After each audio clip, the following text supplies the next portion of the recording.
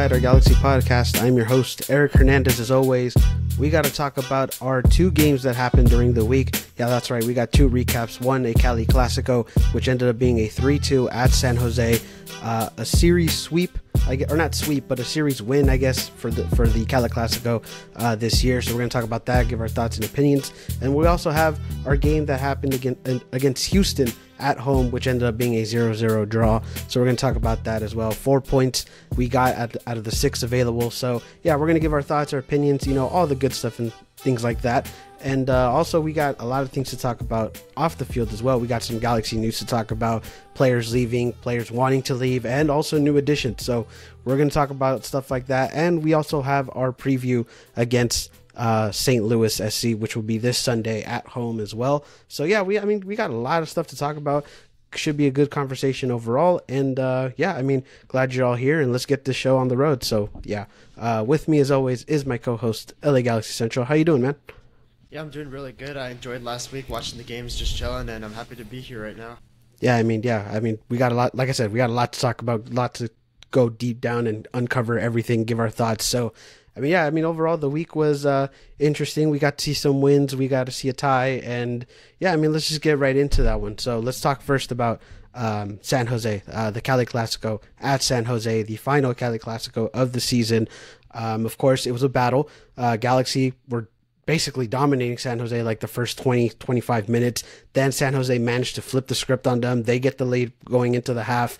Then afterwards, Galaxy come back. They get 3 2.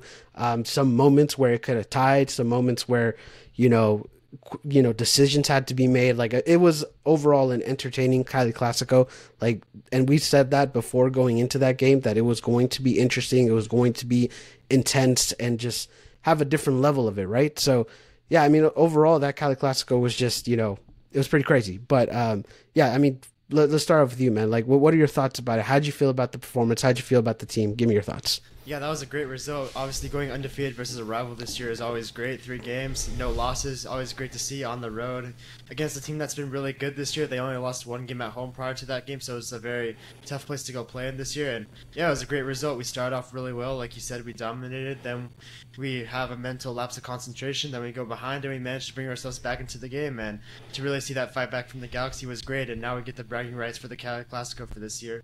Yeah, we do. And also to mention, I forgot to mention as well, also injuries happened in that game as well. You know, Douglas Costa ends up getting a dislocated shoulder, which hopefully uh, it's not too bad. I know the, the, uh, the uh, result was like, or like the recovery time was 10 days to maybe two weeks around there. So, you know, maybe he comes back this Sunday. We'll see. But, uh, but I mean, yeah, I mean, like I said, it was an intense game. A lot of things happened.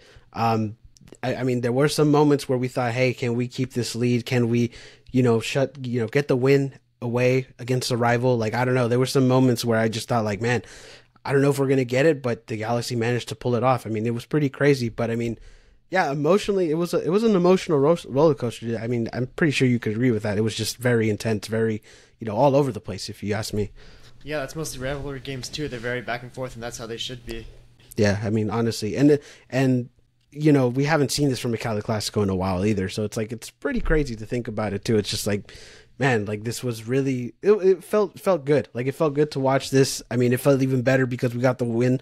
But I mean, I, I guess if you're talking through it, but in like a neutral perspective, like you know, it was an entertaining game, and we haven't seen that from a San Jose, LA Galaxy game in like who knows how long. But yeah, I mean, there was moments in that game. I mean, the Cristian Espinoza who had basically almost had goal of the year, where like you know, it hit the post. Like, I mean, the post was the MVP of that game. If if you ask me, like that was insane like how that just the, the where how the ball was shot, where it hit, and then boom, it was just like the post saved us, and it was just like wow, like I I didn't expect that. Like I I don't know, it was it was very intense. There was moments where I was just like like fuck, are we gonna get it? Are we gonna do this? And then boom, like once the final whistle blew, it was just like all right, get up, everybody, let's celebrate, or at least right now for this win.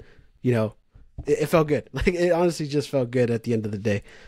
Yeah, it was definitely a grind up performance in the last 20 minutes. I really think we were just trying to survive out of there. And we got injuries too, which we had no designated players on the field for the last 20 minutes. So at that point, the goal of the game was just to survive. And in the moments we needed to come up big, we made the big plays to keep the lead for us. And that was good to see on the road. Yeah, I mean, honestly, and it's very tough to do it on the road. And and like you, you mentioned before, like the record that San Jose has at home is like it's it's great, and the fact that they've only what would you say they only like lost one game in I think in general lost one game at home like this season, right? So it's just like uh, that's insane to me. That's like when you have that much pressure going into you, and with on top of the pressure of trying to make it to the playoffs, it's just like the Galaxy delivered. They they went in there. Yeah, there was moments where they I guess you can say they mentally collapsed, but they they went back up and they you know it it was overall a, a good team win and a good performance in that in that matter. And that's what you need from this team in these moments is trying to get fight as much fight as hard as you can and try to get these points because it's very limited now. There's chances that we could make the push, but a win like this makes you feel at least a little hopeful for the Galaxy, and especially just before going into San Jose, which again that's a different discussion. But you know, at least after that game, you're a little hopeful for the Galaxy with that performance. Yeah, and I mean again, Tyler Boyd and Ricky Puig, like they scored obviously in front of eighty two thousand versus LAFC at this game again when we needed them, they both delivered. So that's very good that these players that are very passionate about the club, some of our best players, are able to rise to these games again for both rivals.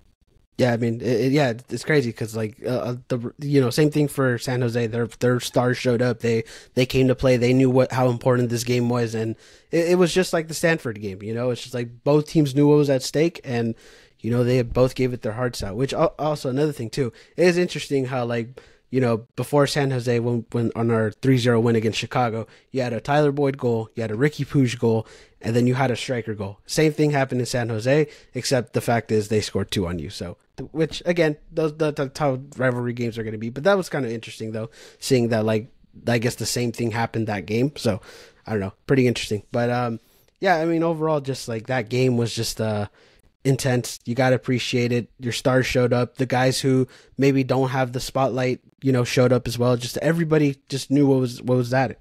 You know, they knew what the, they had to do their job. They knew that they had to just get it going. So uh, I'm happy for that win. I'm happy with the mentality, I guess, and the um, what's the word I'm, I'm trying to look for. Um, fuck, I can't even think of the word right now. But the point is, they fought back and and they, you know, they got the three points, and that's something good. You ha- that's something uh, you should be proud of of this team for sure.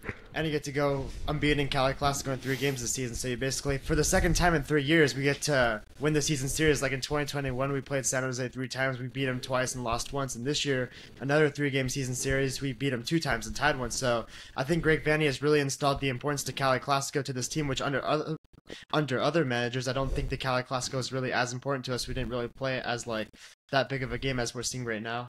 Right, and and, to bring up that point, it's like Greg Vanney has been knows what the Cali Clasico is about. He's a guy who's who's been here since the beginning, knows how important this is, and so yeah, like yeah, like you said, I think Greg Vanney did kind of kind of instilled the importance of this game in, back into this team, and you know that's good because like I've always said that you know this this rivalry is still a good rivalry. It's it's one of the oldest rivalries in MLS, and you just gotta you know remind people how important it is as well. So really that's a pretty good. It really does feel like that though, because like in 2019 when we played San Jose, we lost twice by a combined score of six to one. Then in 2020, I think we lost to San Jose two times and tied them once and only beat them one time out of four games. And ever since Greg Vanney took over in 2021, like I said, we beat San Jose two times to one in 2021, and we tied them one one last year. And this year we go three games and beat, and two out of the three are wins. So Greg Vanney, as a former Galaxy player, I think is really letting the players know and getting the team prepared for this game because he knows how important it is, and it's good to have a manager that really cares about that game again.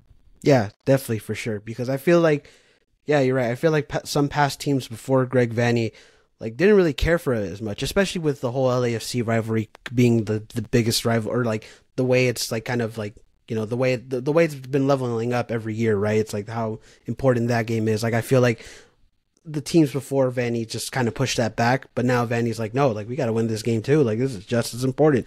Like you, like this is this is for bragging rights. This is for the city of LA. This is for the state of California. You got to go out and show this game. And and yeah, I agree with that too. It's like got to make this game important, and Greg Vanney has made it important. So I'm I'm, glad for that too. But um, yeah, I, I, mean overall, like I said, that was a good uh, good win. Um, any other points before we could move on to some of the players? No. All right, let's talk about the players then. Uh, so let's go with the defense. Uh, who do we have on defense? You had Jonathan Bond on goal. You had Calegari right back. Uh, you had Yoshida and Zavaleta again as center backs, and then you had Raheem Edwards as a left back. Um, give me your thoughts on the defense. How'd you feel about the the performance? Yeah, so Bond came out massive with some big saves, like some little bit of time wasting at the end, and also like he had that one save on Jeremy Ebobisse where he was through it on goal. It was kind of a one v one, not really. I think it was yeah, it was pretty close to a 1v1, and he made that really big save to keep us still in the lead at 3 2. And yeah, Bond came up massive. The defense overall, though, wasn't great. Like, Edwards did get caught out of position a few times. Zavaleta got caught ball watching. I think Yoshida was pretty good. Calegari were both pretty good, but the defense had some mistakes. But what I will say about him is in the biggest moments when the game had to be close, the defense made the plays they needed to make. And unlike last time in San Jose, remember, we were up 2 to 1 with only 10 minutes to go in the game, and you know, we kind of just let it slip away from us. That we had that moving own goal. This time we were a bit more solid defensively. We managed to get that win in the back. So it's really good that the defense was able to step up when we needed them to. But overall, through the whole game, I don't think the defense was great, really, on either side.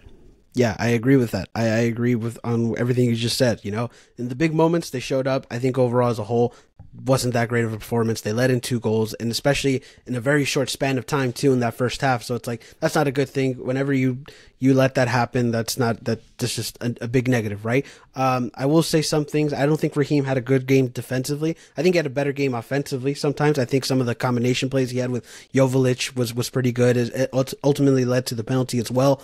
Um, so I think Edwards in that aspect, I think he was good, but defensively, yeah, like he got caught uh, caught a few times and things like that. And you know, I think the left side of it was just kind of shaky. The right side kind of held itself together. Like you said, Yoshida was was uh, was was solid. Calegari had his moments as well, but um, yeah, overall, I would agree as well. For the defense, it wasn't that great, but in the big moments, they showed up, and that's what you need. All right.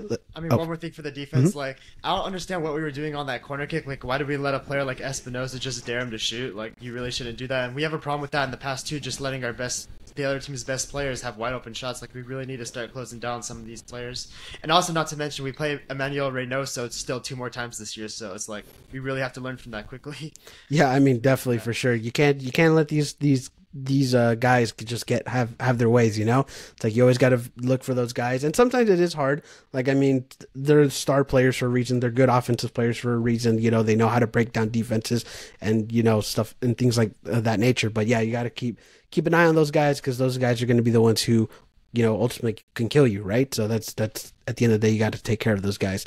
Um, but anyways, let's move into the midfield a little bit. We had uh, we had uh, Edwin Cerrillo start. We had Ricky Puig, of course, and then we also had uh, Uri Rosell. Again, same thing as we had against Chicago. Same thing for San Jose. So, uh, how'd you how'd you feel about the midfield? What were your thoughts about it? Yeah, early on, I think the midfield was super dominant. They played really well, and I think as the game went on, the midfield wasn't really as good. It looks like we got a little bit tired, and then we had to make some changes to it. But early on, I think the midfield was great, and early in the second half, you had Ricky Puig step up for that great equalizer where he went into the heart of San Jose's defense and really took it in. So that was good. But yeah, I would say it was a good start for the midfield, but then after a while, it got pretty tired. Yeah, def- definitely. And you know what? Here's the thing about that Ricky Puig goal that I will say if I'm a San Jose fan, I would have been really, really pissed off if that's how they let Ricky Puig score. I mean, they literally did nothing. They just let him walk, like run in, like it was so, it was so like they didn't do anything. And like honestly, like if that if the Galaxy did that, which I'm sure they've done that multiple times as well, um, you know, I would be really mad about that. It's like how do you let the best player on the field just go through the middle and sh- and shoot a ball. It's like it, it doesn't make sense. Like you don't do that. It's just yeah, I would have been pissed off about that. Luckily, we were on the other side of it and it was in our favor. But uh, yeah, I, I agree with you. I mean, we uh, bet on the other side of it a lot of times though, like with Johnny Russell and Reynoso and stuff like that. It's like yeah, exactly. I mean, it like I said, we've been on the lot of side a uh, lot of uh you know that's happened to us multiple times as well but you know luckily this time it was like for us and uh, like you said about the midfield i agree as well. I think they were very dominant in the beginning but then as the game progressed they were kind of not i don't want to say broken down i guess you can say broken down a little bit but uh you know just yeah ultimately in the beginning they were dominant and then just it was more of a battle later on in the game which you know that's how that game went. Um but yeah, I mean, Ricky Puig just keeps being Ricky Puig. Edwin Cerrillo looked really good. Uri Rosell, you know, just doing his thing, I guess. A lot of people give Uri Rosell a little bit of, like, I, I, I guess a little bit of hate. I get it. I mean, he's not going to be Brugman. He's not going to be Delgado. But what you're asking him to do, it's like, it's not too bad, I guess, you know? You know what I mean? So, yeah, I mean, overall, midfield was just, I guess, okay for me in that game. But, um, anyways, uh, let's move into the offense. Of course, it started off with uh, Dejan up top. Uh, you had Tyler Boyd, and you had Douglas Costa in there, uh, who end- ultimately ended up being uh, taken off later on in the game. But uh, how, how'd you feel about the offense? What were your thoughts about that one? Yeah, so outside the penalty kick, I think Joveljic was horrible. He had a very rough game. I think he passed the ball the wrong way for the second goal. That I think that yeah, that led to the second goal. That was a very poor pass, and overall, he didn't get himself in good positions. He didn't really do much at all. I think Tyler Boyd and Costa were both amazing. It's a shame Costa had to come out because he was playing really well, taking players on, getting the ball where it needs to go. Kind of what we've been talking about the last couple weeks. He's really just making those good passes, getting us out of pressure and doing all these things well. And Tyler Boyd being aggressive again, taking players on. He scored the first goal. He looked lively all game. So I think those two had an amazing game, but the striker position still remains an issue. Yeah, and that's just been the story this, um, I guess you could say this season, right? Uh, or at least the second half of the season. But uh, yeah, I mean, for sure. I mean, Tyler Oh, no, Boyd. the whole season actually. Well, I mean, the whole se- the first part of the season, our wingers weren't doing much either, but Oh, now yeah, they've stepped up. That's why I'm the saying like striker half. problem has been like Yeah, the striker problem definitely has been an issue. Um, wingers has has been like I guess half a season or so. Um, but anyways, yeah, I agree as well. Uh, it is a shame that Douglas Costa did get injured, which I think, yeah, like he did, he played very well, and then once he got his shoulder dislocated, it was like, man, like. I, I mean, I guess uh once he got off, it, you kind of needed Costa, right? And and also in Houston, which we'll talk about later. But like once he's off, now we kind of realize, like, man, like Costa really is an important piece to this team. Like as much as you know, it's kind of we kind of said it too. It's like it's surprising that we're saying that now that we're saying Douglas Costa is an important piece to the Galaxy. Like that that's just crazy. But once he got off, you can tell that was just kind of, I guess, where San Jose maybe got a little bit of life. Um, but but still though, it's, it's like it's pretty crazy like um to think about that. And uh, yeah, Tyler Boyd did his thing. Um, Dejan got a goal, which you know I guess good for him because I felt like he did get like kind of emotional after that goal, even if it was a penalty. I mean, sometimes you just need that one, right? You need that one to just feel better. And considering what how what he's been through during the season and how much criticism, which rightfully rightfully so, right? But um, regardless, despite all the criticism, like I felt like he needed that. Which again, I'm happy for him in that aspect, but I do agree that you know it's still an issue. Hasn't really done as much. Remember when you told me in April though that, like I said we needed Douglas Costa back. The Galaxy need that player back in the winger spot. He can make some sort of difference when he's playing at least. And you were like, oh, he's not gonna make any difference. It's like now I'm glad you came to the side of realizing that he really can make a difference when he's fit and actually motivated to play. I mean, when I mean, it, yeah, I remember when you told me that, and it's crazy because I was just like, he's gonna get suspended one day. He's gonna get injured. I mean, I guess he did get injured in this one, but which was, you know, not not on him or anything like that. I mean, injuries are never on a player, but you know what I mean. It's just like he's gonna get injured at some point. He's gonna get suspended, and no, he hasn't, and that's kind of been like the the surprising part about it, how much he's turned a new leaf and how much he is an important piece to this team, and it is crazy. And you know what? I'll you know I'll admit it. Like Douglas Costa is an important part of this team. He's definitely shut a lot of mouths up, I guess, and you know he he's doing what he's needed to do. And I think, um, you know, I, I don't know. I, I mean, I guess I can ask you this too. Like, do you think with how he's performing, it, it's I mean, not just collectively his time at the Galaxy, but just what we've seen, like this good part of Costa, you can say it's worth the DP spot, right? Like, do you think about it? Uh, it's worth a DP spot right now. He's been playing at a DP level, sort of. But would I re-sign him after this season on a DP contract? No. Would I consider bringing him back on like a high TAM deal? Possibly. It depends like who we have in mind. But yeah, his production has definitely been up lately, and he's been playing a lot better. I don't know if it's because of he's in a contract year, so he kind of realized like I need to play better in order to keep a job next year, or maybe he just saw Chicharito go down and had enough respect for the team that he wanted to pick up his level of player. Maybe it's a little bit of both of them, but yeah, Douglas Costa has been playing really well right now, and we need him on the field for this final part of the season. Yeah, we do. He is an important piece. And, you know, hopefully he's back against St. Louis. I know it was 10 days, which I think would be the 10 day mark. Well, we'll see if he comes back against St. Louis. But, uh, yeah, hopefully he, he is. And, you know, we do need him. Like, we really do, which, again, surprising to think about that. And, yeah, I mean, it's crazy. But, uh, offense, I mean, you still got three goals, I guess. Uh, you got two from offensive players. And, you know, I guess offensively, would you say it was a good, it was a maybe not a good day, but at least a solid day performance for them? Yeah, I mean, when you score three goals, it's always a good day offensively, especially on the road. It has to be considered a really good day, and I think we looked lively all game, especially in the first like 20 minutes. I think that was might have been the first, not the first, sorry, the best 20 minutes I've seen us play all season, and it was really good. Like I- offensively, we were moving the ball great. We were playing at a really fast pace. San Jose couldn't keep up with us at all, and we got lu- unlucky not to score more than one goal in the first 20 minutes. But after that, like it kind of died down a little bit. But I'm glad we got ourselves back into the game and a win. Yeah, I mean, we were really dominant those first twenty. I think there was like there was like a little stat that popped up about how many passes completed or whatever, and I think the Galaxy had like hundred something completed, and like San Jose had like fifteen, and it was just like whoa, like we like we have the complete dominance in this one, this first twenty minutes, and then you know, like it, it was crazy, like to, to see the how dominant we were. I mean, you know, it sucks that we I guess kind of broke down at the end of it, but um, you know, I, I don't know. I guess you you still got the fight in in there later on, but uh you know, yeah, it, it was pretty. It was a battle for sure, to say the least. Yeah, I mean that's the statement you wanted to make coming out of the game. Like you really want to get on top of them. San Jose lost 3-0 the week before, so you really kind of want to come out and kind of punch them in the face. And I think we did a really good job of that.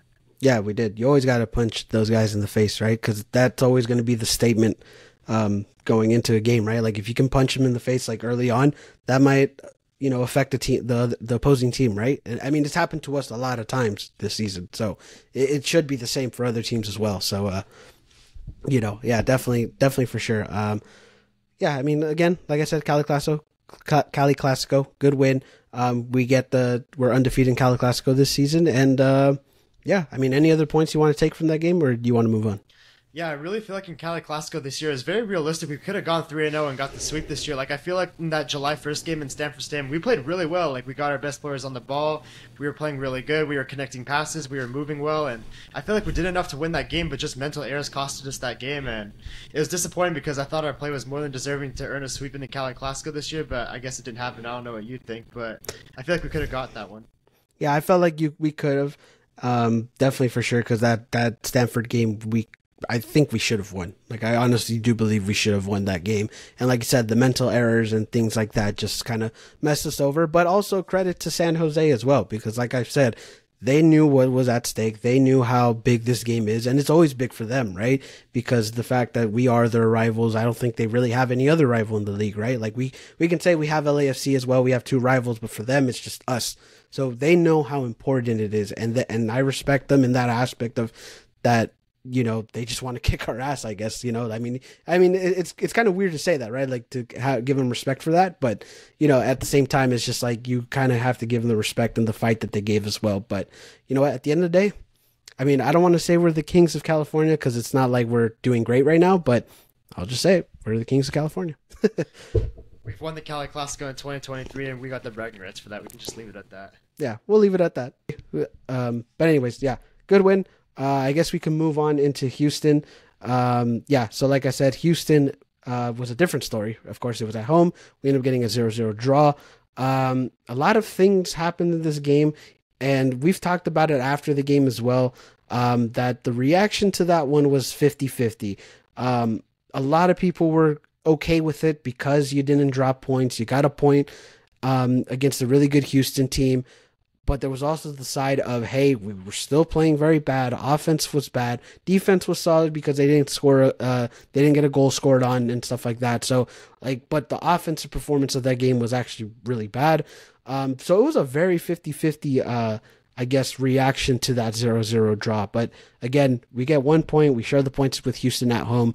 Um give me your thoughts about it. How, how'd you feel about that one yeah, I was very disappointed about the game coming off that big Cali Clasico win. I was like, I was going to that game with so much confidence. I'm like, oh, we're back at home now. If we want to get the nine point week, we can creep even closer to the standings. A few points, a few teams dropped a few points this week. It's like we can get even closer to them, and it's like we're going to be, be motivated against Houston to try to prove our point again because we lost 3-0 last time, and it just wasn't there really all night. I mean, offensively, nothing really happened. Defensively, we were okay, even though I think we got a bit lucky. We didn't concede a goal or two, but it just looked uninspiring. It looks like the Galaxy weren't really up for that game in a sense. It's like they're still riding the high from Wednesday in a sense. And at home, you really need to get all three points, especially if you want to make the playoffs. Like we have, well, like six home games left. You really need to try to win all your home games because we know on the road it's very difficult in MLS. And yeah, it was just pretty disappointing overall what happened. I think it wasn't really in anybody's control. It looks like it was just a poor night for the team overall, but I would have liked to see a bit more from that game.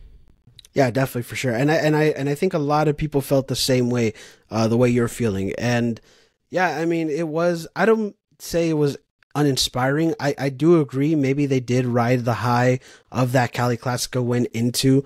Uh, going up against Houston, I, I I do agree with that. Maybe maybe it was also just the fact that it was a that you had two games and you know there was differences in the lineup as well. Um, you know, just think little things like that that kind of affected the team maybe.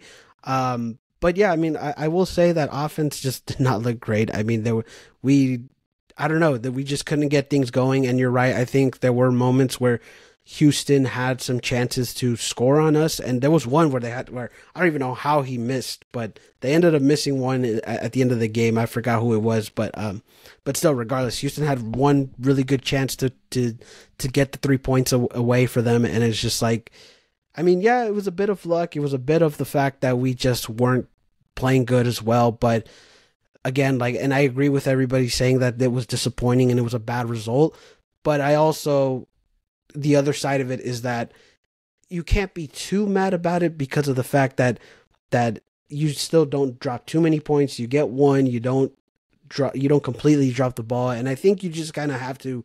And I said this to you. I think you just have kind of have to take it and just move forward. You can't let this this this uh, game like you can't lose sleep over it. You can't just think about this game. You say, hey, it's a bad performance. We know that. Let's move on into the next one. We got a whole week to to train for the next game. So I, I think again it's 50, very 50-50 for this game, but I, I don't think any side is right. But you know, both could be right, both could be wrong. But it's just you know, it just is what it is, in my opinion. I just really got the feeling from that game though that if anyone was going to score the first goal, it was going to be Houston. Like I was watching the whole game and I was like, kind of just sitting there waiting, waiting for something to change, waiting for a momentum shift, waiting for the Galaxy to create that one big opportunity. But it really just never came that whole night. Yeah. If anything, it might be a more of a disappointing night for Houston than it is for us. I mean, is, yeah, because well, they're in a playoff spot right now, and it's they're on the road, so probably not that disappointing for them considering they won on home midweek. But mm-hmm. still, like they should be a little more disappointed. They didn't put their bigger opportunities away. Right, but uh, I mean, I would I would also say that yeah, they may be in a playoff spot, but we've said it before. It's very tight right now between like places three to ten, you know. So it's like they can't really afford to drop any points either. So it's like you know, for them it might be a bit more disappointing because I think yeah they had they had more chances, they had that one opportunity that could have sealed them the win, and they didn't get it. So like my opinion, I think it was it was more ba- uh, worse for Houston in that sense, but I think they should be a bit more disappointed. But again, um, I don't know. I think for both sides, you can say the same thing too. It's like you just take the point, and I think you just move on. Like that. That's just how I took it. Like you yeah, know, Houston, Houston, had two really big opportunities. Like they had one in the first half where one of the Houston players played Corey Baird on goal, and Corey Baird took the shot, and Jonathan Bond came up with this huge save. And if Corey Baird had passed it to his teammate who was wide open in the middle and would have been on sides, that's an easy tap in for Houston. But Baird makes the bad decision to shoot it. And the second half, it wasn't at the end of the game. I think it was around like maybe might have been like seventy. Yeah, I was gonna say yeah, it might have been 60, 70. 60, yeah, 60, 70th minute around there, it's like Houston had a wide open goal where he was played across, and their player used his, I think it was his right foot to try to flick it in instead of tapping it with his left foot, and that should be an easy goal right there too. So, I mean, we could have easily lost the game too, and they should be disappointed in that sense. But what was more disappointing for us is we didn't even create any opportunities. Like outside of that one Joveljic header in the first half, which was like barely a chance, and the Aguirre sort of Barrios sequence play that resulted just like two pretty simple saves for the keeper. It was there's really nothing all night for us. Yeah, I mean, like I like I agree with that. Offensively, we were just not we weren't creating anything, and it was to the point where we took off Tyler Boyd, which I think I know you said you disagreed with that, but I would also like to say like the fact is we weren't creating anything, and maybe you just had to take off a player like that as well to try to get something going, just to try to get something going. But even then, neither the starters, neither the subs really got anything going, and it's just I think that was just really the the disappointing part about it. Taking off Tyler Boyd was a horrible decision because you just subbed in a new striker. So who knows what you could, have done with Billy Sharp instead of Joveljic, and you didn't even give him that opportunity. You took him off right away. And I feel like on the night, if we're gonna highlight one uh, positive offensively, I feel like it would just be Tyler Boyd being aggressive, really trying to create things, but it wasn't really there for him. It wasn't there for the team. But taking off Tyler Boyd, that was just not the move right there, especially for Daniel Aguirre, who's more defensive. It's almost like we were playing for the point at that point. Also, another point to add on the offense as well. Um, you had no Douglas Costa, of course. Uh, Diego Fagundez starts in this game. Um, and like I said, you can tell that this team needed a Douglas Costa as well, because that's another, uh, you know, player who creates things, right? He's a player who creates things out of nothing and, you know, relieves the pressure sometimes from the Galaxy as well. And it's just like, yeah, you needed a Douglas Costa as well. And I don't think Diego Fagundez really provided that. I don't think he was like terrible, but he's just, he wasn't providing the thing, things that Douglas Costa was. Yeah, Fagundez was really poor. Honestly, I think he looked a bit out of shape, and we talked about it. Like this season, he's been injured a lot, still coming back from injury, not in the best of shape, and you can tell right now he's not fully up to match fitness, and it's kind of concerning. Like maybe we write it up this year, and don't make much of it, but next year if he's still like not at his best or he's just not in his prime anymore of his career, then like you're paying this player a lot of money and he's not very good for you. That's pretty concerning. Yeah, definitely is for sure. But again, this was his first start. Um, San Jose was his debut, I guess, because of the Douglas Costa injury. So, like, again, can't really judge him off two games, but you know, we'll we'll see we'll see how how it goes from here on out. But yeah, I mean, for sure, wasn't a wasn't a great de- uh, starting debut um, for Diego Fagundez, but uh, yeah, I mean, again, couldn't get anything going on the on the uh, offense. Again, it sucks. I think midfield was okay. I think again, defense was eh, okay, I guess as well. Like it was just a meh performance, I guess, like all all all around. So, I mean, again, you just kind of have to just take it and move on. That's just how I felt about that game. Yeah, it really felt like all night. Like anytime we would try to do something, like okay, we got the ball wide, we cross it, it goes into the first defender. All right, we get the ball wide, we cross it, it goes straight to the keeper. We get the ball wide, we cross it, it goes over everybody's head. We're in midfield, we lose the ball, or we don't connect the pass, or it just feels like everything was just kind of off. It felt like Houston, in a sense, was a step above us, which was disappointing to see. Yeah, it, it pretty was. But like I said, I think it probably would have been more disappointed uh, for Houston because considering I think they did play, you know, a bit better than us. I think I don't think Houston was like amazing or anything like that. I mean, but they did have their their moments and they did play a little bit better than us. But um, yeah, I mean, overall it was just yeah, I got I don't know, it was just a meh performance. Um, any other points before we move on to players? I know we kind of just went off on players as well, but uh, you got any got any other points? No, all right. Then. Let's move on to the players. Uh, like we said, defense. Uh, you had you had some changes in this one. You had Bond at goal. You had Calegari on right back. You had Edwards again on the left, and then you had Maya Yoshida and uh, Chris Mavinga as your starting center backs on this one. Um, again, how'd you feel about the defense? What were your thoughts about it? Honestly, defense, I think it's similar to how I felt versus Chicago. Like, yeah, it says we got a clean sheet, but I don't think that performance was really clean sheet warranted. Like, I just feel like we didn't concede any goals because Houston wasted some big opportunities. Like, we, we talked about it earlier, like the Corey Baird chance where we could have passed it, and the other chance in the second half where they were wide in front of goal. Like, that could have easily been 2 0. And if the score was 2-0 we lost. Like would we be talking about that the defense had a good game? Probably not so i don't know. The defense played all right. They did some things well. I think the center backs are both solid but not a great game defensively. I think the clean sheet's a bit of an outlier that game. Yeah, definitely doesn't tell the whole story for sure. Um, you also had uh, what's called? You also had Calegari who ended up getting injured in that game as well. Uh, I don't think they've mentioned what his status is or what happened exactly, but um, but still, though, hopefully everything's all right. Um, it was non-contact. Luckily, he did get up and walked off, which was a very good sign, if you ask me. Um, so again, hopefully he's fine and he's ready for for uh, Sunday. But uh, uh, unless something has already happened once this episode's out, uh, we'll, we'll, know for sure. But uh, yeah, I mean, he gets injured. We, we ended up playing with 10 men as well at like the final moments of the game, which was kind of scary too. Isn't that disappointing too? Like, we should leave a sub in case of injury, especially for this team. It's like at this point in the season when we have like so many injuries, not a very good medical staff at the moment, you would think like we'd leave a spot open at the end of the game in case something like this happens. Because yeah, for like 10 minutes or so, we played a man down and we could have easily lost it. At that point, it's like you could never even try to make a last minute push to get a winner because you were down to 10 men. Yeah, I mean, but like I told you, I, I think as ironic as this sounds, you can't really, you know, predict an injury. Ironic as that sounds because we've had so many, but I, I still think it's like, well, I don't know. It, it, like yeah, it sucks that we had to play with ten men, but I just don't think you can predict that. Like because injuries could happen whenever they can. They could happen in the first minute of the game. It could happen in the last minute of the game. Hell, Chicharito last year had an injury before the game even happened. If you remember that, or I think that was like two seasons ago. I don't yeah, remember, but ago, yeah, yeah, yeah yeah, that like was two months too. Like, yeah, and he missed two months. so like, right yeah, so you can never predict an injury. As ironic as this sounds for this season, like you can never predict it. But yeah, it's unfortunate that it, it you know, he did get injured and we had to play with ten men. And like I said, hopefully he's okay. I I I hope he plays this Sunday. I don't know what his status is, but we'll see. Um, but anyways, that that was the defense. Unless you had any other points. Um, well, yeah, Bond was super good again. Actually, like he made that one really good save in the first half on Corey Baird's shot, and he made a good save on Hector Herrera, and I think he made another good save that I don't quite recall, but yeah, I think Bond was really good, and we kind of questioned him like before the Leagues Cup break. Remember that Vancouver game where he had like that FIFA goalkeeper kind of dive? And, like, we were like saying, well, what is he doing? Well, the last two games, I really think he saved us some points. Like in San Jose, he denied Ebobisse. Then this game, he made some really good saves, and yeah, I think Bond's really starting to pick it up right now, and hopefully he can continue to play well going forward. Hey, and, and the most important part of the season too. So it's like that's where you need him to, to really make these saves. So yeah, I, I mean, yeah, I agree. Bond has been playing good. Um, hopefully he continues it. I mean, especially in these next ten games because they are important. So yeah, I agree as well. I think he was probably the probably the uh, standout for the defense, I guess, just because of those like saves and important uh, moments. So yeah, I would agree on that. Um, all right, then let's move on into the midfield. Uh, you did have some changes in this one as well. Uh, you had uh, Uri Rosell, you had Mark Delgado starting uh, since he was coming off a, little injury, and then you also had Ricky Puig.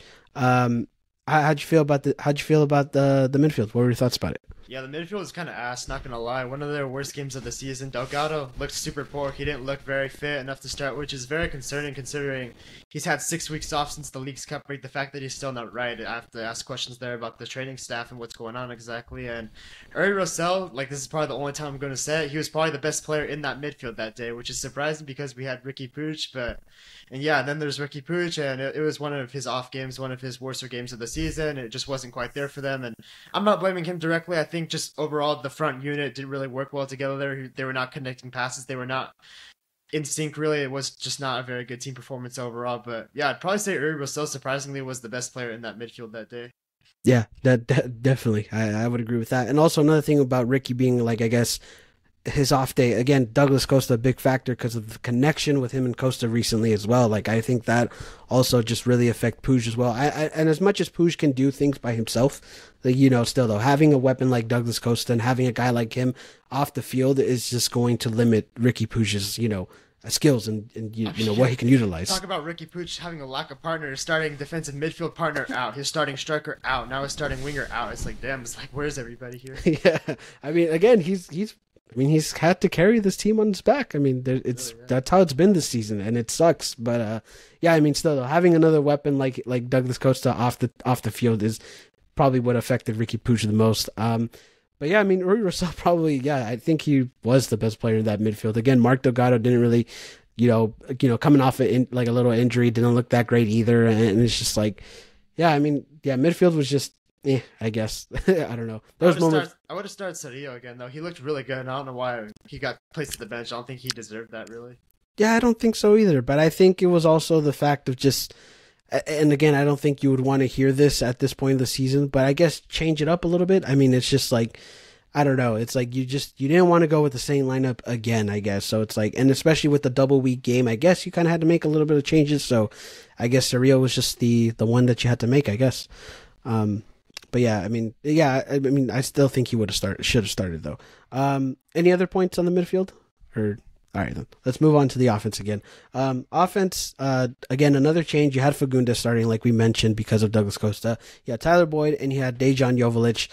Um, we, we've already said about the offense, but again, what were your thoughts about the offense? How'd you feel about I mean, it? Yeah, the offense was shit. What more can I say about it? It's really bad. I mean, Fagundez didn't look great at all. He looked like not very fit at all. Joveljic as a starter, I mean, we've had this talk too many times. It's just not working out, and I mean, we'll discuss it later. But maybe Joveljic's time is coming to an end, and honestly, I don't think that's a bad decision. And Tyler Boyd was all right.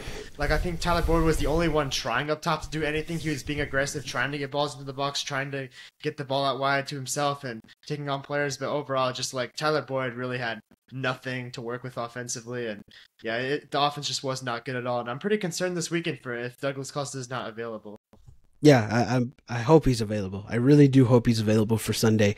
And you know, even if he doesn't start, if he comes in at some point of the game, I think I'll be okay with that. But I we need him. like as, and we said it as as well, weird as this sounds. Today, so I mean, if that helps your case at all. Oh, okay. There you go. He was at training. Yeah, because uh, they had a what's it called? They had an open training for season ticket members. I forgot about that. Yeah. Um, well, that's a good thing. Um, for sure.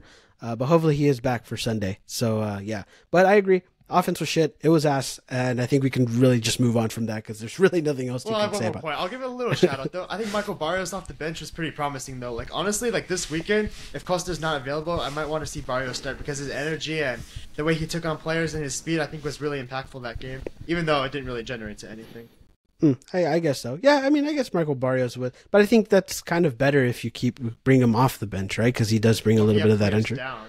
Like you might have to start him sometimes. Well, but- I, I guess so. Yeah, but you know, I, I'd still want to see. I guess. Well, if Costa's not available, I would like to see Fagundez at least give it one more shot. You know, before we move on into that discussion. yeah, I don't my know about opinion. that, but alright, my that's opinion. I, in my opinion, I think so. Um, but yeah, like we said, offense really wasn't that great anyway, so I think we could really just agree with that and move on. Um, final points though, as a whole, just for this uh, double week game. Um, you know, I, I kept the I kept the octopus as a smiling just because I I said, you know what, Houston was a little bit disappointing, but you did get a Cali Clasico win. You got four out of six points available. I think it's worth having the the octopus and the smiling face right now. But uh, yeah, but I mean, just a final thought. How'd you feel about the week? Um, do you think? I guess was it a successful week? Do you think it was okay? How'd you feel about it? Yeah, so overall for the week, Cali Clasico was amazing. That was a great game, really back and forth, a really good battle. I'm very happy we came out on top, got the bragging rights for Cali Clasico. That was an amazing result. Houston definitely very disappointing for me. I was I had so much confidence going into that game, and coming off that big Cali Clasico win, I really wanted to get three points at home, and we could have been even closer to the playoff line. But now we just have to wait another week and try to get back into things. Yeah, definitely. Uh, like I said, Houston. Um, don't think the players are going to lose, sleep about it. Um, at this point, you just got to keep moving forward, take what you can. Um, hopefully, we get a, um, you know, once, well, going into, we'll talk about St. Louis in a bit, but uh, yeah, hopefully we, we do better there. Um, okay, but let's move on. Uh, we do got some Galaxy news. In fact, we got a lot of Galaxy news, to be honest. Um, like I mentioned in, in the beginning, there's players that want to leave, there's players that's going to leave, and there's also new additions, but not players. So, um, I guess let's just talk about the first thing that happened this week. Um, the big news: Efrain Alvarez uh, reportedly going to uh, Xolos de Tijuana. Um, it seems to be like that's a done deal, and he's going to go there. Um, you know, yeah, I mean that's going to happen. We everybody was wondering why hasn't he been on the roster these past like three games or whatever, and you know. uh, You know, inevitably, we just knew that this was going to happen. We were going to have to offload him, whether it was, I guess, now or the off season this was just bound to happen. But um, yeah, he's he looks like that's a done deal. He's going to move. Um, what are your thoughts about it? How, how'd you feel about that? Yeah, I mean it's great for both the player and the club, especially for the player though. Like I really think Efrain Alvarez needs a change of scenery. He's been here for a while since he was like really young, and this year it's been really rough for him. I know he said like he wanted to make this his year. He started with well in preseason, but it just never quite went in his favor. I think he had sort of a fallout with the coach. He hasn't played basically the last 12, 13 games. I mean, how many minutes has he realistically played? Like under 20 minutes, probably. Being completely honest. And- Probably like a half, uh, if I'm gonna be honest even, honest. honestly. Like, I don't even know about that. And yeah, I just think he needs a change of scenery to try to develop somewhere else. New coaches, new teammates, new environment. That can be great for a player, and I really hope he does well. And I know we made jokes sometimes about like how he is, but it really became kind of a sad situation that it had to end this way. And yeah, if the deal does happen and he does go, I wish him the best of luck, and I hope he does well over there. Yeah, I agree. Um, listen, as much as we make jokes, as much as much as we give criticism, as much as you know, just I mean, I don't want to call us part of the media, but the media in general, as much as there's there's criticism and things like that, at the end of the day, we want players to succeed. We want them to be the best that they can be. And Efra being this young player, when we signed him, going to be this prospect, and you know, could be the next big thing, not only for the Galaxy but also for Mexico and things like that. Just uh, Zlatan calling him like the you know also the best academy player or whatever. It's just like we had high hopes for Efra. We wanted him to be the best player he can be. And again, like you said, it sucks that you know we've had to come to the point where we had to criticism and had to, I guess, make these jokes. But and it is a sad situation. But I agree that this change of scenery is going to help him. It's going to make him more of a better player, a better adult. Um, just you know, helping him grow as as a person. Um, you know, I, I just think that this move is is is right for him. And you know, I, like you said, I wish the be- nothing but the best for him. You know, he's going to go with a with a coach with Piojo Herrera, and you know, just you know, you know, hopefully he just tears it up in Liga MX and gets his opportunity. And you know, if a team, I mean, the fact that that Tijuana wanted him goes to show that his services are still, you know, people want his services. You know, he's had his moments here. He know we know the potential that he can get. It's just a matter of him trying to get to there. So I, I like I said, like we said, um, wish nothing but the best for Efra. Yeah. So um, yeah, that I don't know. It, it kind of got kind of got a little emotional for that, but uh, I mean, again, though, it, hope we hope for the best for him. Um, okay, that was that was one uh transfer, I guess, rumor or I guess thing that happened. There was another rumor. Um, well, actually, was confirmed uh, that Dejan could have possibly been on the move. Um, apparently, that he had an offer to Turkish side. I forget what the team was called. Um, I don't know if you remember the team name. If you can tell me. I know the team name, but I can't pronounce it. Also. Yeah, I can't pronounce it either. Um, it's Trabzonspor. I don't know. I don't remember. don't bother. I'm not gonna bother. You can re- you can check on Fab's Twitter. Um, it's yeah, on exactly. there. it's on there. But apparently they, they made a deal, a three million dollar deal to the Galaxy, um, to get Dejan Joveljic. He actually accepted it, which which also came out, but the Galaxy rejected it. Uh, another note to add on is that we did buy Dejan for I think three point five, so we were going to, I guess, lose a little bit of money if we did agree to this transfer. Um, and again, we talked about Dejan this season um, as a whole. Um, yeah, I mean, what, what were your thoughts about it? How, how'd you feel about about that whole like situation? Yeah, I don't think the Galaxy rejected this deal because they would lose money. Because realistically, 500k, especially for an AEG ownership that has a lot of money, is not that much. I think they rejected it because we're just short on bodies right now. We have Chicharito out already. We have Brugman out already. We have Cáceres out. Now we have Costa out. We might have more players out. It's like we already have so many guys out. We can't afford to lose another body for the rest of the season, and we just have to keep him here. But the fact that Joveljic accepted that deal tells me that it's probably done. I mean, if he accepted it, that means he probably wants to move. He probably wants to leave. We heard reports that like maybe he was not happy about a new striker being brought in, and maybe he feels like he's not prioritized anymore. And obviously, with the DP contract this offseason, I think a striker is the top priority on our list, and that would just limit Dan's playing time even more. And yeah, I mean, it's honestly, it's coming to an end with Dan Joveljic. I don't think he's a great fit at this club. I think he's a good player, but just at the system with the way we want to play, I don't think he's the player for our system. And I mean, if he does end up making the move eventually, I wish him all the best. I don't think he'll be right now, but I do have a strong feeling by next preseason he will not be on this roster anymore. Yeah, I mean, it seems like the writing's on the wall, especially him accepting that offer, right? Um, I, I will say for in for Dejan's sake, it's like if the if the reason is because they brought in Billy Sharp, which I don't think it's necessarily on Billy Sharp, right? It's the fact that they brought another striker. Um, I don't think that should dishearten Joveljic. That should motivate him because the fact is, it's that yeah, you you we if we if I'm pretty sure Dejan knows this isn't a good season for him. It's not a good season for him. He knows that. Um, you can't let things like that go down to you again if that's the reason. But um, I I mean still though. But yeah, I mean I think it's just the fact of what the off season is going to look like as well. I mean, like you said, there's so many and I think that's going to be the like the topic of conversation is the striker position for this offseason, right? There's so many different things the Galaxy can do, right? It's like they I think everybody wants to see the big name DP striker, which is obviously going to I feel like that should happen, but you know, that's an option. The option could be you know, again, I guess Chicharito, uh, another little news, I guess you could say Chicharito on Twitch the other week was like, he wants to retire here. Don't really believe it, but again, he says that he wants to retire here. Does the Galaxy bring him back? What happens with Billy Sharp in these next 10 games? You never know. It's like there's so many different directions the Galaxy can take with the striker position. And I, I know that everyone's going to say, no, get the DP um, new guy, you know, like get the star player, which I agree as well. But it's like there's so many different directions you can do. You you can still keep Dejan. What happens with Judd? It's like there's just so many things that you can do with that position. And but again, I, I would say I would agree as well that I'm I'm I'm confident to say that I don't think Dejan is going to be on this team uh, next preseason. Yeah, I feel like with Jovic though, like if he really wants to leave right now, I think the Turkish window closes on September 15th, and right now it's the 6th. Like, the question should be like, do we let him go right now? Like, realistically, if like he doesn't want to be here, it's like we don't want him starting anymore. Like we've already talked about him as a starter enough times to the point where it's not good anymore. And then on top of that, it's like he already knows he's probably gone the offseason. Do you just let him go a little bit early and just rock with Joveljic? Uh, no, sorry, uh, Billy Sharp and Preston Judd the rest of the year? Do you just like ride them out the rest of the year and let Joveljic go a little early, make your offseason a little easier? Or do you keep him the rest of the year because you do have the lack of players problem? Because honestly, in my opinion, like I think we should let Joveljic go right now if he really does want that move and the offer is good enough. I, I think we should let him go right now because I just don't see him being motivated to stay here any longer.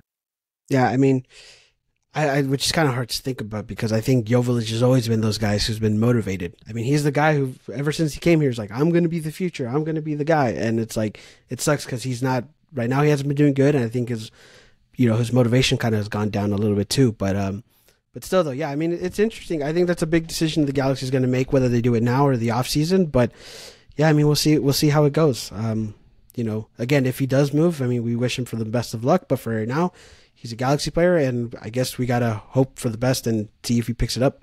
What do you personally think? Do you think they'll move him in the next week or the off season? I think it's going to be an off-season thing. I don't think they do it now. If they do do it now, I think that's more surprising than than it is in the off-season. Honestly, like for me, it wouldn't be surprising if they did it now because like you really got to take into account if he doesn't want to be here, and he's been struggling so much in the starting lineup anyways. It's like you'd probably just let him go a little bit early and just not delay the inevitable. Really, for me, it kind of makes sense to do it right now if, if But- the offer comes across. But but the thing is though, it's like you still don't know what Billy Sharp is. You never you haven't seen him start yet. You still have Preston Judd in there. I don't think he's going to start, but still though, you don't know what if they manage to put Judd in there. And then what if they put Dejan on the bench and then he ends up being what he was? You know, like you never know. Like Dejan is still a very valuable player. He still has Tried him on assets the- to. We tried him on the bench this year, and he hasn't quite worked out though. To be fair, I, I think a that last year thing. Yeah, but I mean, still though, it's like there's been more instances where he started than he's come off the bench. So it's like, I, I think that that that's uh you know something they had the Galaxy still need to think about. It's like you know this is still effective player coming off the bench. So it's like, you know, I don't know. It, it is it is an interesting decision though. I but for me, I don't think it's gonna happen in any like now. It's gonna happen in the off season. It is strange that like if we had that U twenty two DP spot, what would we do with it? Would we get another striker, a winger, maybe a midfielder? Like that'd be kind of strange. A defender, which I highly doubt a defender considering our defense is already really young. But yeah, that'd be really strange. Like, could we find a better player to fit our system more that Jovic hasn't been able to do in his time here, especially as a starter? Yeah, I mean, yeah, it'd be interesting because I mean that U twenty one spot or U twenty two spot is really uh It's valuable. it's valuable. Yeah, it's a very valuable piece to to the whole like salary cap situation, right? So it's like, yeah, I mean, I don't know. It, it really would be interesting, but I think again that's still a conversation for the off season and what what happens there. But uh, yeah, I mean, again, um, I don't know. That we like I said, hopefully Dejan turns it around, but I mean, you know, it, seems like the the the writing's on the wall. It's just it's gonna happen. Yeah. But um, anyways, that's enough of the transfer uh, stuff, player stuff actually, because we still have one more uh, piece of Galaxy news. Um, Galaxy announced actually three um, personnel for the front office.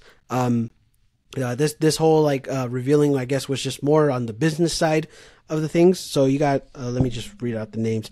Uh, you got Tom Braun, who's now the president of the business operations and chief operating officer. You got Uriel Martinez, who's chief revenue officer, and then you got Will Misselbrook, who's chief creative and brand officer. So you got these three guys coming in, um, part of the front office now. Nothing, nothing related to soccer operations. That's still going to be under Vanney and and Will Kuntz. So these are guys who are just going to focus mainly on the business, is from what I understand. Um, again, these are these are new pieces to the front office, and um, yeah, I mean, what what are your thoughts about it? How how'd you feel about when the Galaxy announced this? Yeah, definitely a lot of questions though, for sure. Like, who's the first guy you named off? He's the Uh, president. Tom Braun, he's the president of business operations and chief operating officer. So is he taking Chris Klein's spot or?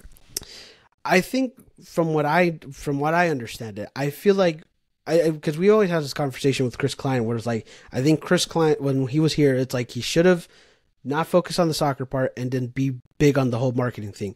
That's what I is what I'm thinking that they're doing. This guy is essentially part of the whole business aspect, mar- like not the, directly marketing, but like the marketing stuff and everything like that. It's like this is the this is what Klein should have been.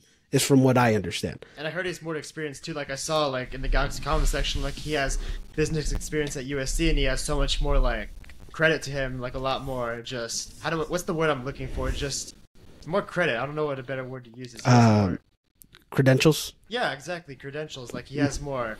He's a more respected businessman. He has more experience. He has higher ratings. I guess is what you could say. And he seems like a really good hire. I don't really know much about him. I don't really know much about that side of the front office. To be honest, I don't really care that much. I care more about on the field and how we can get good players in here to build a good team. But I mean, it's great to have an organization where everyone knows what they're doing. Everyone's on the same page, and hopefully these guys can make a good impact on our organization.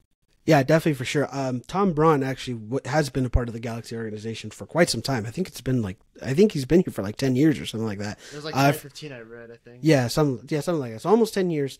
Um, still though, he's been here with the Galaxy. I forget what his role before this was, but um, essentially Tom Braun has done a lot of things with the Galaxy. Um, he was the guy. Actually, one thing he he created was the whole Coachella Valley Invitational, right? The preseason like tournament thing that they have.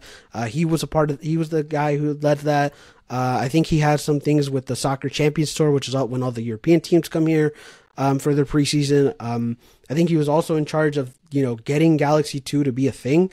you know, for them to compete in USL and then transition them to MLS Next Pro. So like Tom Braun has done a lot of things. He's been with the organization for a very long time. So hiring someone within your organization is a good thing because now they have not only have they know what the how the galaxy operates, but also he has his own ideas that he can offer. So it's like there's a lot of things that he can do.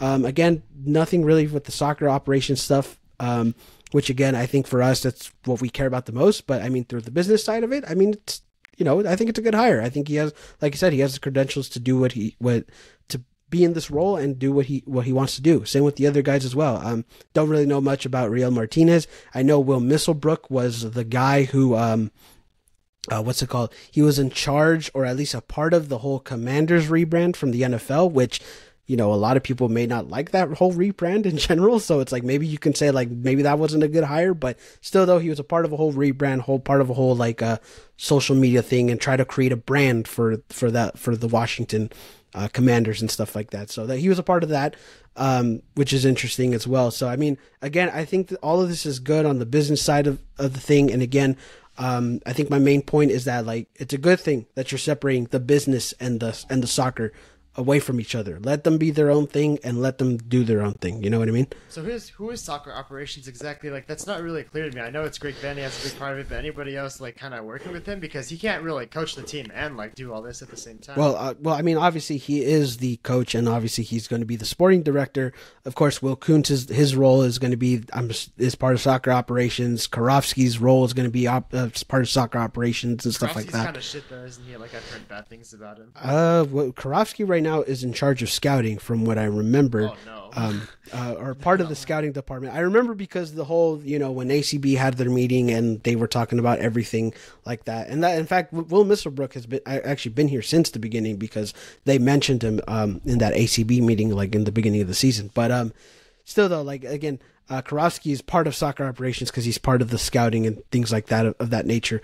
Um, so yeah, I mean I, that's soccer operations. It's going to be Vanney, Kuntz, and Kirovski, from what I know. I don't know anybody else who's part of it. So what's Dan Beckerman's role? Like I know he's a CEO of AEG, but like it's kind of confusing. Like all these guys, I need to learn more about it. So what's his role exactly? Because I know he's kind of a face of the LA Galaxy a little bit. Well, I mean Dan Beckerman is just, I guess he just oversees the Galaxy. Not really a guy who's going to make decisions for the Galaxy. Just more like oversees on who they hi- who he hires and who they bring in, which is essentially Dan Beckerman hired all those three guys, right? He hired them to, for the Galaxy, um, and then you know, of course, when they hired Will Kuntz, I'm assuming that was his decision as well. You know, bringing per, bringing the people in is his job, is from what I understand at least. Could be I, wrong though. I feel like in soccer operations though, there has to be more than three people. Like it's not just those three guys. I'm assuming, right? I, I mean, I think the what what people have been saying, what felt about the whole soccer operations part of it is that you know, they don't like Vanney being the sporting director. So I think really it's just, you know, and we've had this discussion too. It's like, um, like should the Galaxy bring a sporting director or slash GM for the next season? So like as of right now, soccer operations is going to be Vanney, Kuntz, and Kirovski. But the, I guess the conversation for next year is going to be: Do you bring somebody in, or do you keep it the way it is? That They that's should, how I look at I don't think they're gonna do it. I think they're gonna stick with Vanney because he's done Yeah. that in Toronto too, and he won a treble with that team, the only MLS coach to ever do that. So I think he's kind of earned the respect to build his own team without a sporting director. But I just think in general, a sporting director is a really good idea to have part of any organization, and you can still work with the coach too. It's not like Vanney's just not involved anymore if we bring one. Yeah, exactly. But um, yeah, I mean, I don't know. It's going to be interesting. But again, from the main point that I want to take from the whole hirings is that you separate the business and you separate the soccer, and I think that's what everybody's been wanting, and I think everybody's going to be happy uh, with that whole thing. So, um, but yeah, that, that that's just the hirings. Um, but yeah, I think that's going to be the it for Galaxy News. Unless you had any other points or anything like that. Yeah, I think Jovan Kirovski is like one of the low points of scouting. Though, like I, I don't really know much about him, but I heard he's kind of like not very good at his job. Like maybe not Klein level bad, but he has not done a good job in the past. Yeah, people have been calling for Kirovski's head as well. So I mean, I don't know. Like it, with the whole post Klein era, maybe he's different, or maybe he just is also another piece we need to let go. But I don't know. Um, it's interesting um, that he's in charge of scouting. A lot of people, when they heard that, were not really happy about it. But I don't know. We'll see. Uh, we'll see how how all that goes as well. But um, yeah, uh, that's going to be it for Galaxy News. And finally, uh, we got our uh, preview for St. Louis. So um, yeah, this Sunday we're going to go up against St. Louis at home. They are still the first place team in the Western Conference, I believe, right? I don't think they've gotten down. Yeah, so they're still first place. Um, again, last time we played them, we tied at St. Louis. It was a one-one game. We ended up getting a last-minute equalizer, and yeah, I mean, of course, St. Louis is an expansion team who's done very, very good this season, and um, yeah, I mean, I don't know. It's gonna it's gonna be another tough battle. I mean, again, they're the first place team in the Western Conference, so yeah, gonna be another tough battle at home. And um, yeah, I mean, what are your thoughts going into this game on Sunday? Yeah, it's going to be a very tough game. Like you said, St. Louis has been a very good side this year. We talked about before. St. Louis is a very organized team. They're very tactically good. They know what they're doing. They have players that fit their system very well, and it's going to be a tough game, man. I'm pretty concerned because, to be honest, like I don't think Costa's going to play. We heard the timeline 10 days to two weeks, and on the game on Sunday, it's only going to be 11 days. So, like, are we really getting the best case scenario with Costa getting him back right away? And even if we do, he's not going to start probably. So, like in my opinion, that best case scenario, we're getting Douglas Costa off the bench, and yeah. So for most of the game, I think we're going to be playing without him, man do we have the attacking quality to really threaten this very good, organized, strong St. Louis side? And honestly, for me, it's no, really. I don't think we have the attacking quality to really threaten these guys. And I'm pretty worried about it because at home, I really think we need to get three points from this game because we're at home and then we got some road games coming up, especially next week. We've got a rivalry game on the road, I believe. And I feel like this is a game we really need to win just to get back into things even more. But without Douglas Costa with the, with the offense I saw last game, I can't really feel too confident about it. But I do think last time we played St. Louis, we did deserve to possibly win, and if we can try to replicate that, maybe at home it'll go a little better. But I don't know. Offensively, it's definitely concerning. Yeah, definitely for sure. Douglas Costa is going to be a, again big piece that we're going to miss uh, this week, and uh, I don't know what happens this week. Uh, honestly, I don't know if they change back into uh, you know what they did with uh, San Jose and Chicago. Maybe you bring Cerrillo again starting. Um, what what is Neal situation going to look like? I remember he was also recovering. I don't remember when he'll be back, but of course, like if Neal comes back on this game, actually, I think they were supposed to integrate him for this week, so maybe he comes back. Um, do you do you look at that in the defense as well? So again, uh, is most likely going to start in this game, so it's just like there's going to be some differences. There's going to be some things that are going to be placed that worked well with us. So it's like, yeah, I mean, it's not going to be an easy game. And I think, you know, you know, I, I don't know if we don't, I don't want to say that we don't have the offense to, to take on St. Louis, but I don't know. It, it's just, it's going to be tough for sure. Cause I, I, I don't know. It, it's just like, I, I, mean, I don't know. I can't really explain it to be honest. It's just, it's just going to be a tough I mean, game. I, I don't like the way to explain it is like uh, if we're being honest, like no, we don't have the offense to take on St. Louis. St. Louis is a very organized side. They're very good at what they do, and it's like they're going to be hard to break down than Houston. We couldn't score on Houston, not to mention Houston's backup keeper, who's known to be really bad. It's like, how are you going to score on this St. Louis team that has very good coaching, very good tactics, and a very good keeper in Roman Bürki, and just great defenders overall? It's like, if we couldn't really score on Houston, what makes me confident we're going to score this game? And I don't know, we need our attack to step up a lot, and I'd probably change some things with it too. Yeah, I mean uh, that's another thing too. It's like, do you keep Joveljic on the starter? Do you do you finally bring in Billy Sharp to be the starter? I mean, there's a lot of questions to really be asked on what the Galaxy, are, how the Galaxy are going to go into that game. But um, no, I mean, yeah, you're right. I mean, St. Louis is going to be a tough team to break down, regardless. But again, the positive is that you're at home, you're in front of your fans, and you know that's going to help you. Uh, hopefully, I mean, it kind of didn't really. I, I don't want to say it didn't help in Houston, but like you know, still though, it's like being at home is just going to be better for the for the team. So it's like, yeah, I mean, having that is going to help them. And uh, yeah, I mean, I don't know. I, I, I think offense, yeah, could be a be could be a big question mark going into that game. But if defensive play is solid, if if um, what's it called, Calegari is, is still is okay to be going on that one too. It's like. Again, I don't know. It really is the way how the Galaxy approach this game. I think that's going to be the biggest factor.